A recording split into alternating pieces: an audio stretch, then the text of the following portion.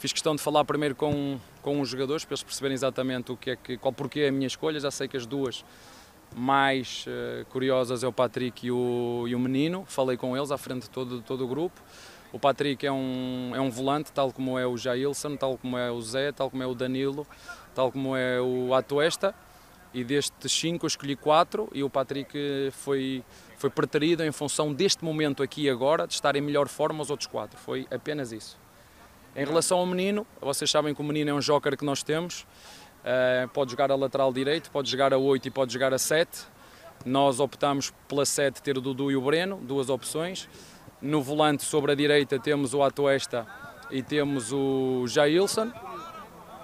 E a lateral direita temos o Mike e o, e o Marcos Rocha. Portanto, foi estas as minhas decisões. Infelizmente, a FIFA só deixa levar 23. Custou-me muito, porque sei o quanto eles significam para nós.